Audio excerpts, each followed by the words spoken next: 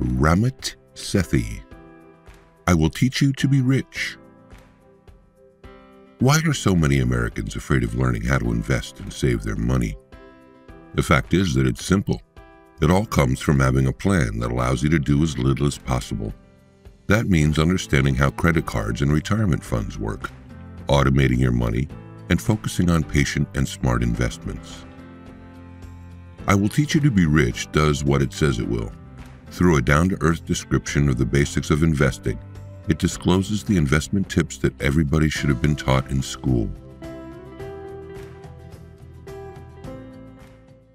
Before we begin, we publish new content every week.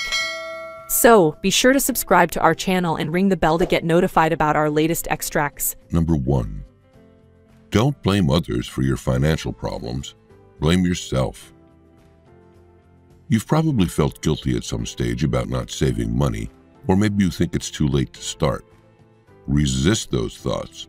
It's time to stop making excuses. The first thing you should know is you shouldn't get distracted by information fed to you by the media. There's a lot of information on finance out there and it can be paralyzing. Plus, a great deal of this information is boring and unhelpful, like you should cut back on those lattes which doesn't take into account the actual life of a young adult. When it comes to investment advice, young people have reason to point the finger at the media and blame others who could have taught them better. But the best way for someone to change their savings outcomes is by taking responsibility for his choices. Such common excuses, like our education system doesn't teach money management, are grossly inaccurate. Many colleges do provide classes on finance, yet students don't attend them. Fear of losing money is another popular excuse for not doing anything with it.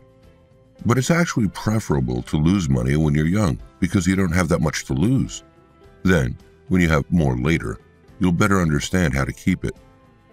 Bear in mind, money is also drained from your account when you leave it to stagnate in banks. Yet another excuse is not being able to afford to put $100 aside a month. Really, the amount is not so important. Even $1 saved per day adds up over time. We all remember the financial crisis in 2008 when many foolishly withdrew their money from the market. A lot of these people had no diversified portfolio and bought high and sold low. A big mistake. It was easy to blame the government and banks, but most hadn't picked up a single personal finance book to educate themselves. We need to take responsibility for our problems and start solving them. Now that you know this, how do you get rich? Number two, use your credit cards smartly. Understanding how to harness the power of credit cards will be your first step towards saving money and getting rich. Our most significant purchases are often made on credit, and people with good credit are able to put aside a lot of money. Credit comes in the form of loans, mortgages, and credit cards, and it enables you to buy big purchases when you don't have the money for them immediately. Keep in mind two central aspects of credit.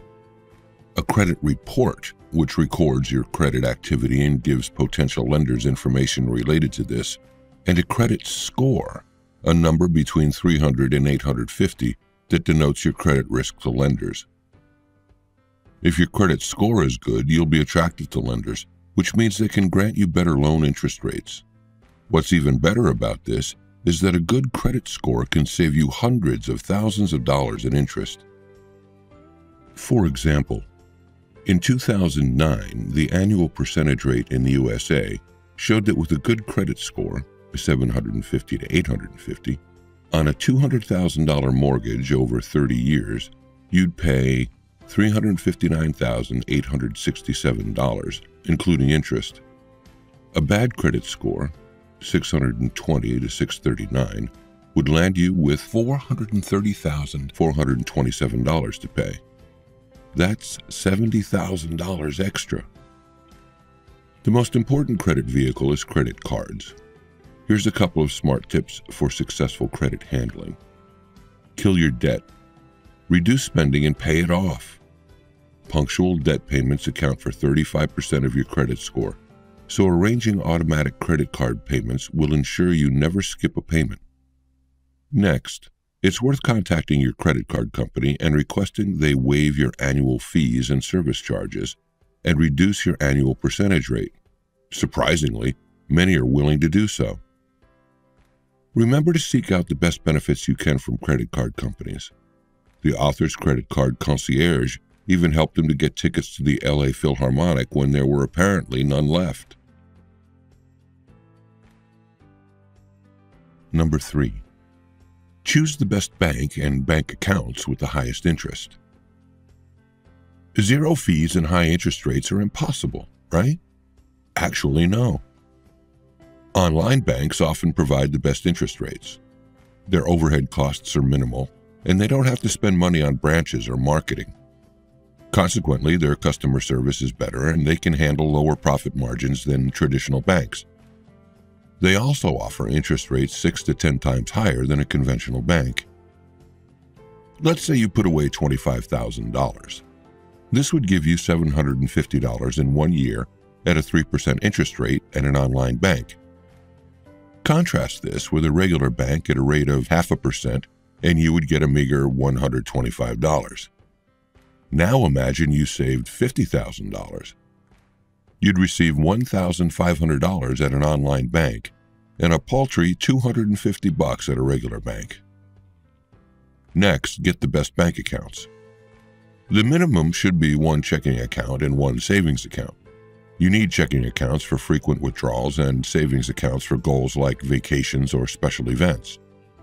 You have a few choices here. Have your checking and savings account at the same bank, the lazy option. Have your checking account at a local bank and a savings account at an online bank, the normal choice. Or numerous checking and savings accounts, the best choice for those who aren't scared of effort and want to optimize their accounts for different goals. Or you can keep one and a half months of living expenses in your checking account and put everything else into your savings account. If having numerous accounts sounds like too much, then simply opt for a no fees checking account at a local bank and a high interest rate savings account at an online bank. Number 4. Open investment accounts, even if you only have $50 to start. Watching your pennies and putting a bit aside in your savings account is good, but will only get you so far. To really make your money work for you, you should invest. Opening a 401k retirement fund, which many companies in the USA offer employees, is a good place to start. To set this up, you simply need to authorize a portion of your paycheck to be automatically sent from your employer to your 401k. Then you can sit back and let your money grow. There are some great benefits to having a 401k, such as tax advantages because you're agreeing to invest long term money from your employers if they agree to match your 401k contribution, and that's an investment requiring little effort. After your 401k, you should open a Roth IRA, which is another kind of retirement account. Whereas a 401k is sponsored by your employer, a Roth IRA is built using your own money it is strongly advised that everyone should have both a 401k and a Roth IRA, because a Roth IRA, in contrast to a 401k, allows you to invest in whatever you want, such as individual stocks and index funds. Also, while a 401k uses pre tax dollars and you get taxed when you withdraw money during your retirement, a Roth IRA uses after tax dollars so you don't get taxed on your interest earned and when you withdraw funds at retirement. So, how should you start your IRA? One student had difficulty saving $1,000 to open a Roth IRA account, so she opted for a management firm, T. Rowe Price, which offered an account with no minimum starting amount and chose to automatically contribute $50 per month. $50 per month was easier for her to commit to, and even that amount is a great start. Number 5. Figure out how much you're spending, then direct money where you want it to go. Remember the last time you felt guilty about buying something but bought it anyway? Next time you'll know better after you learn how to spend consciously. Conscious spending is about reducing the amount of money you spend on things that aren't so important to you and spending more on things that you really care about. All you need to do is adopt a conscious spending plan. Automatically save and invest a given amount per month and spend the rest on whatever you want, guilt free. The percentage you spend on different things can be broken down into 60% on fixed costs, rent, utilities, debt, 10% on investments, a 401k, Roth IRA, 10% on savings, vacations, gifts, unexpected expenses, and 20% on guilt free spending. Conscious spending means thinking about what's important to you. For example, the author's friend Jim moved to a smaller apartment after he got a raise. Why? His living space didn't matter much to him, but he loved going camping, so he put his money towards that. Next, learn to adjust your spending. You can try the envelope system, in which you decide how much you wish to spend on the four areas above and put that money in envelopes. So when they're empty, there's no more spending for that month. Envelopes may also be metaphoric. The author's friend opened a bank account with a debit card that acted as an envelope. Every month, she loads money onto the card for socializing, and when the money's gone, she doesn't go out. Changing from one extreme behavior takes a while, so tweak your spending rather than, for example, saving $495 a week if you were previously spending $500 a week. Choose one or two major problem areas and work on those, rather than trying to carve out 5% from numerous areas. Overdraft fees, for instance, can add up to over $1,000 per year. Erasing that alone will make a massive difference. Number six, automate your bill payments so you don't have to think about them. Paying bills is inconvenient and annoying. If you're not crazy about managing money, create an automated system to do it for you. Take the conscious spending plan from the last blink and automate it using your bank and your own tools for tracking your spending. First, contact your bank to set up automatic transfers and payments. For example, Set up automatic payments for fixed costs and automate withdrawals from your checking account to your Roth IRA. Once this is done, use the remaining money for spending and set mid month calendar reminders to inform you if you're exceeding your spending goals. A good idea is to have $1,000 in your checking account as a reserve. If your spending is going according to plan, then great. If not, use the next 15 days to get back on track. Another excellent idea is to implement an automatic money flow by connecting all your accounts and creating automatic transfers. The transfers can be organized in the following way. Your paycheck should fund your 401k and checking account, and your checking account should fund your Roth IRA, savings account, credit card, fixed costs where you can't use a credit card, like rent, and the odd amount of spending money. Your credit card should finance other fixed costs and guilt free spending. But how exactly can you link all your accounts? Simply automate all transfers and payments. Say you get paid on the first of the month. On the second, automatically send a portion of your paycheck to your 401k and all that's left over into your checking account. On the fifth, automatically transfer money to your savings account and your Roth IRA from your checking account. On the 7th, automatically pay off your bills and your credit card. Number 7. Ignore experts and invest the simple way. Experts are always going on about choosing stocks, but there's a much simpler way to invest. Don't believe the experts. Not one of them can consistently predict how funds or stocks will perform in the market over time.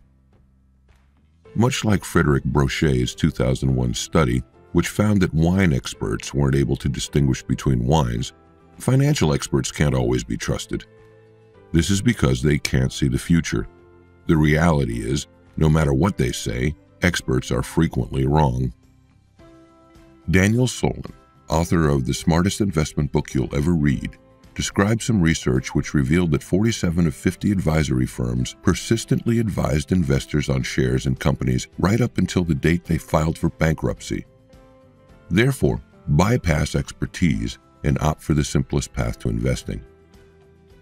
Picture an investment pyramid in which each category has an asset class. That is, stocks, bonds, and cash are at the base. Index and mutual funds are in the middle, and life cycle funds are at the top. These investments become more complicated as you move down the pyramid, so the simplest approach is through automatic life cycle funds, also known as age-based funds, which aspects of the pyramid you invest in shifts depending on your age. For instance, if you are a 25-year-old, Vanguard Target Retirement 2050 offers 90% stocks and 10% bonds. But if you are 55, it offers only 63% stocks and 37% bonds. As you can see, in your 20s, more of your assets are in stocks. This is because you can afford to take the risk at this age. As you get older, the balance moves accordingly, and life cycle funds make things easier by automatically adjusting for you. The great thing about lifestyle funds is that you only have to own one fund. Then you simply need to decide where to apply the fund's investment, for example, to a 401k or a Roth IRA.